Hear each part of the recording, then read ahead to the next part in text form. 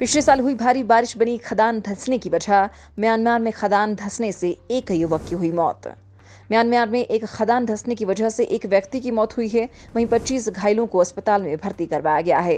हादसे में करीब 70 लोग लापता हैं। हादसे के बाद रेस्क्यू टीम के 200 सदस्य मौके पर पहुँचे और लापता लोगों की तलाश की जा रही है।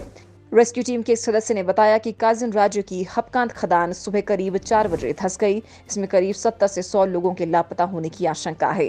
बताया जा रहा है कि पिछले साल जुलाई में हुई भारी बारिश की वजह से काचिन राज्य की एक खदान धस गई थी इसमें करीब 300 लोगों की जान चली गई थी।